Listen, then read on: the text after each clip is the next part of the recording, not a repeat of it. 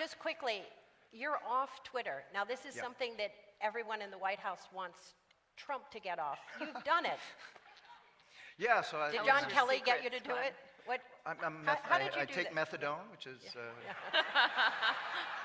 actually, Facebook is kind of methadone for Twitter. Um, um,